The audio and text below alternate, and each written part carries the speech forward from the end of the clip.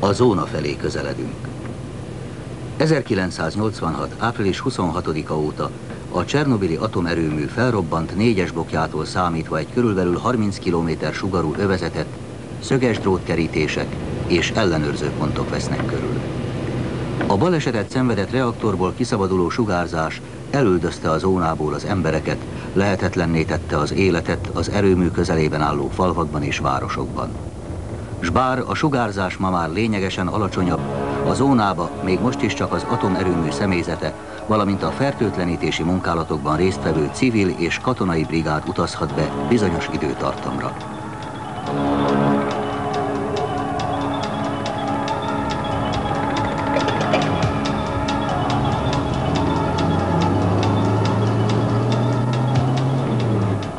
A zóna itt kezdődik? Igen, itt kezdődik. Általában oda kiléphet be. Külön engedéllyel lehet csak oda bemenni. És hol lehet azt megkapni? Enjenek oda az ellenőrző pontra, ott állítják ki. A szigorú ellenőrzés indokolt. A zónának saját törvényei vannak, amelyek a földkerekségnek csak erre a 30 km sugarú darabkájára érvényesek, és amelyek megsértése a zónába beutazó egészségét veszélyezteti.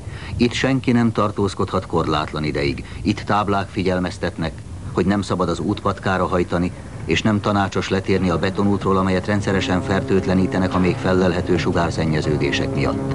A zónában a sugár magának vindikálja a törvénykezés jogát. Az itt dolgozók és az alkalmi látogatók csak egyet tehetnek, alárendelik magukat a láthatatlan hatalomnak.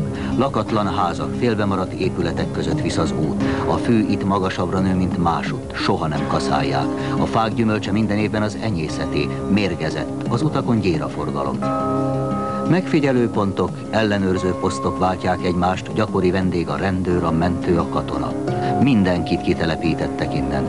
1986. április 26-án éjszaka a robbanás nyomán 135 ezer ember maradt hajléktalanul, annak ellenére, hogy egyetlen cserép nem esett le, egyetlen ablak nem tört ki, egyetlen ház nem omlott össze, nem égett le. A sugárzás rombolás nélkül pusztít. Csernobilhoz közeledünk.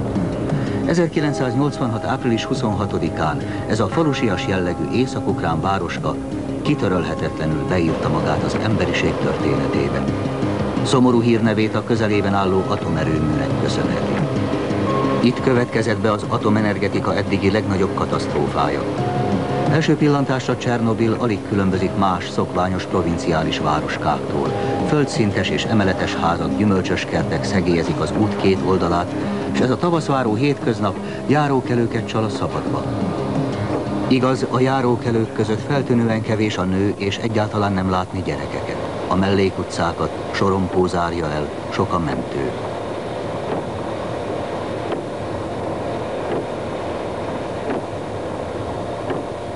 Bezárt, bedeszkázott ablakú házak a három esztendővel ezelőtti tragédia mementói.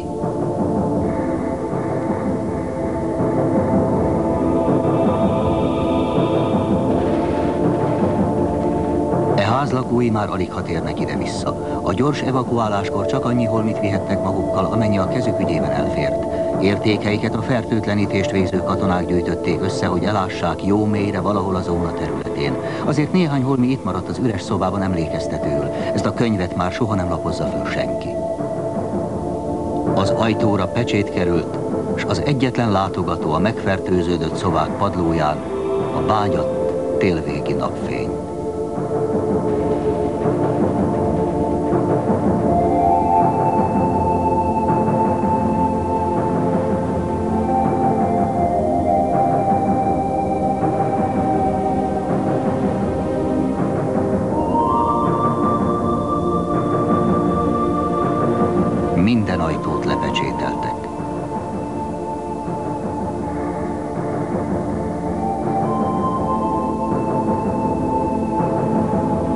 Sugárzás egy virágzó, fejlődő várost fosztott meg jövőjétől. A szakértők ma még nem igen bocsátkoznak becslésekbe, annyi azonban bizonyosnak látszik, az ezredforduló előtt alig ha térhetnek vissza a zónán kívül rekedt Csernobiliek.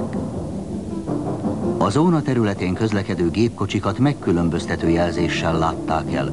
A zóna feliratú járművek nem hagyhatják el Csernobilt és környékét, nehogy sugárszennyeződést vigyenek ki magukkal. Forgatócsoportunknak most egy másik autóbuszra kell átszállnia. Ez már csak a zóna közepén elterülő 10 kilométeres sugarú övezetben közlekedhet.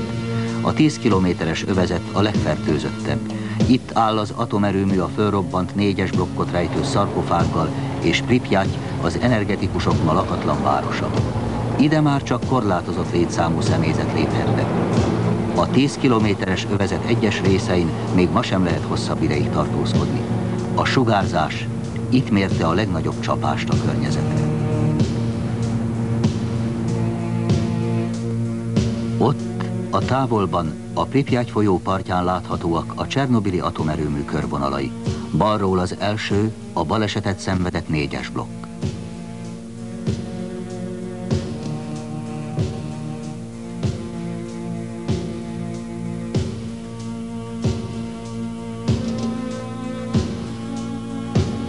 Közeledünk az erőműhöz. 1986 áprilisának utolsó napjaiban ezt az utat menekülőket szállító autóbuszok, teherautók, tűzoltó és mentőautók lepték el.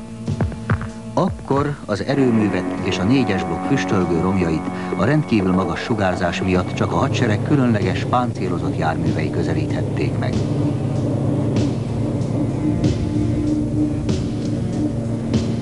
Három esztendővel ezelőtt a négyes blokk közelében rövid időn belül halálos sugárdózist kaphatott az ember. Mi most már itt beszélgethettünk a zóna szóvívőjével. Ezen a helyen a szarkofág előtt, ahol önnel állunk, a sugárzás szintje most nem haladja meg a 3-4 milli röntgent óránként. Közvetlenül a katasztrófa után itt több ezer röntgen volt óránként a sugárzás, mivel a négyes reaktorból a robbanás során egészen idáig zuhantak ki különböző törmelékek. Ezen a részen sugárszennyezett grafit törmelékeket, roncsokat találtak a baleset után. Most is van itt még sugárszennyeződés? Nem, már nem maradt itt semmi. A talajt kétszer is legyalulták. Új, tiszta, szennyezetlen földet hoztak ide. Mindent letakartak betonnal, betonlapokkal, kavicsal, majd azt újból betonnal és végezetül betakarták egy újabb földréteggel, amelyen most már, amint ön is látja, fűsarjad.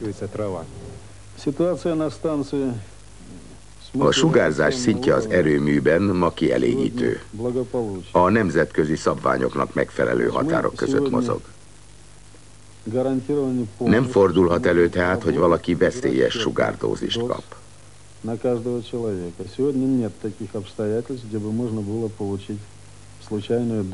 A szarkofágot ma megbízhatóan ellenőrizzük és aktívan, intenzíven tanulmányozzuk. A szarkofág állapotának ellenőrzése speciális, számítógépes mérőrendszer segítségével történik. Ez a rendszer lehetővé teszi, hogy a szarkofágban közel 200 ponton mérjük a neutronáramlást, a hőáramlást, a hőmérsékletet, a háttérsugárzást. Gamafon, Mérjük továbbá a reaktorroncs felett a levegőben levő hidrogén mennyiségét. Ezek a paraméterek megfelelnek a felezési törvényeknek, és arról tanúskodnak, hogy a szarkofágot illetően ma már nem kell semmiféle kellemetlenségtől tartani. Eredeti légifelvételekről láthatjuk a fölrobbant négyes blokk romjait. A baleset körülményeit feltáró vizsgálóbizottság jelentésében megállapította, hogy a katasztrófát a biztonsági előírások durva megsértése súlyos emberi mulasztás okozta. A személyzet felelőtlen módon megengedhetetlen teherpróbának vetette alá a négyes blokk reaktorát, miközben kikapcsolták annak biztosító rendszerét. Így módon a reaktor védtelen maradt az emberi hibával szemben, a kiiktatott védelmi rendszer nem lépett működésbe. A robbanás következtében megsérült a blokk amúgy sem túl erős födémszerkezete, és a reaktorból nagy mennyiségű sugárszennyeződés került